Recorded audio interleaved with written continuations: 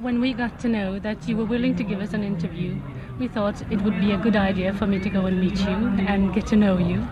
But when I came, I found that the circles around you were very closed, that it was a very exclusive group, very Oh. difficult to reach to you. Does it have to be this way?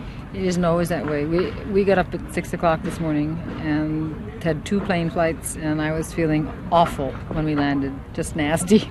So we just got in the car and left. We didn't mean to be rude or exclusive. There are times when you have to be. I feel as though I need that around me because if I look at anybody, I'll just be rude. You know, instead of saying hello, how do you do? I'll say get out of my way. So that was all. That's and, I'm, and there isn't time. There wasn't time. I had time to wash, lie down, get ready, sing a song. And that was all. So we'll get to know each other in the interview now. Yes. Do you find that in these days of, of disco music, rock and roll music, that uh, young people still like the traditional folk song and the con- contemporary ballad? Um, I don't sing myself too much of too much traditional stuff, but I think there are people around whose ears are tired of hearing too much noise. I also think there's some very good noise and there's a lot of not so good noise, and um, most of the not so good noise is what's on the radio a lot.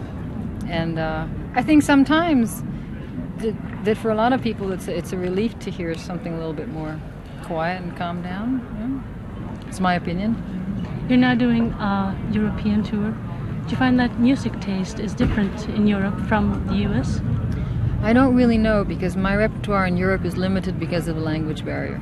I mean, for instance, I've written a lot of new songs, but I can't really sing them um, freely and where, I don't feel as though people pick up all the words. I think it's too much hard work for them. So um, my own repertoire is altered considerably in Europe. So you sort of have a tailored repertoire for the European tour. Well, that right each time, yeah, each time it changes some.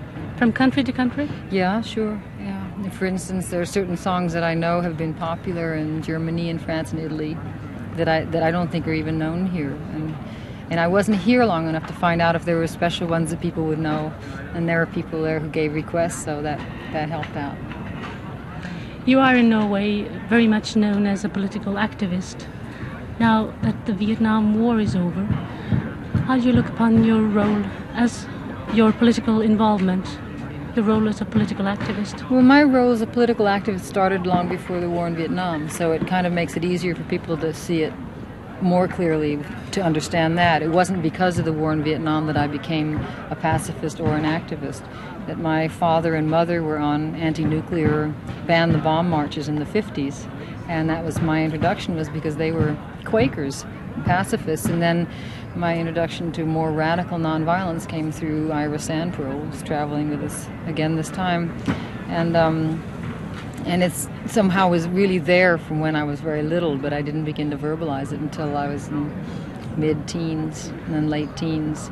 And now the only difference is that this certain direction has been taken away from people. But there's an article in the Herald Tribune, what, two days ago, saying there are more demonstrations in Washington now than there have been in years and years and years. I mean, everybody. There's not that one focal point of Vietnam, but there are the women and there are the I mean, absolutely everything. Minorities of all shapes and sizes, and and, and people are on the move. And it's kind of getting to be not so true anymore that people say, "Oh, the universities are dead and quiet." And they were quiet for a while because I think everybody was in a state of shock.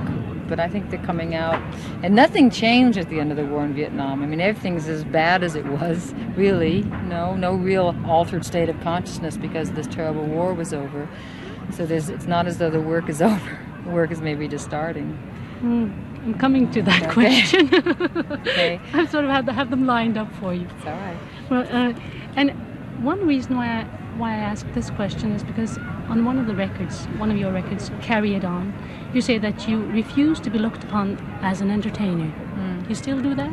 Well, there are times that I like to entertain. I mean, just make people happy or make people feel good. But very seldom would I like a whole day, whole concert to go by without having made a little jab somewhere. Because there's nowhere in the world, in my opinion, that's really got a right to sit back and say we're totally satisfied, everything's in terrific shape, and now I can rest. You know, because there are so many sad and terrible things going on, from hunger to torture to more subtle exploitation, and and to me, it always goes back again to Gandhian politics that the, the root of all of that is people's willingness to ignore violence that goes on and in that way continue the violence or to directly take part in it under the name of some you know some glorious name or some glorious new cause and um, until that mentality is changed or unless that mentality is changed then I don't really think the human race has a very big chance. How about the feminist movement? Do you think that fighting for women women's rights is that part of your general political involvement? I haven't gotten very involved with that. Um, it's partly because of the, a lot of the fashion in which it was done in the States for a while I had difficulty feeling comfortable with. Um, I think I've my consciousness has changed a lot from, from that. I mean, I've benefited from a lot of what, what's come out of that.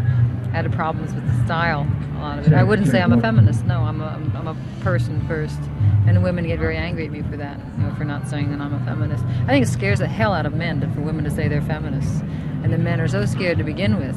There's no point in having both sides you feel absolutely trampled on. But I don't know. Once I just felt if you could, we could teach men how to cry, we probably could end war. you know, simple little things like that, rather than. But there are some fan, there were some fantastic things that have come out of the feminist movement as well. Last question. Uh, most artists are put to the, you know, the threat of commercialization. Do you think that you have avoided this threat so far? Um, I don't know. i I think the only mistake I ever made was bothering to listen to my record company. You know, that, that, that when I thought, well, I'll devote a little more time to my records and my music because I thought I owed it to myself and to my own music, etc. So therefore, I thought I connected that with listening to the people from the record company, which was foolish because all they don't really listen to music. I mean, they listen to the accounting machine. So I sort of got past that phase now and got back to where I want to hear exactly what I want to hear coming out of myself and my soul and my words and so on. Mm-hmm. You started writing quite late. Yeah, I didn't start writing till about. Um, I'd been singing ten years before I wrote anything. Yeah. Thank you very much. I don't. I'm still so nervous. I don't know. I don't have an impression of it. well, you can listen back. It'll be fine.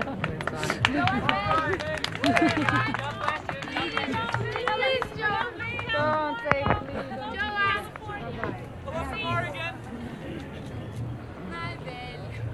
Hi, Ben. Thank you very much.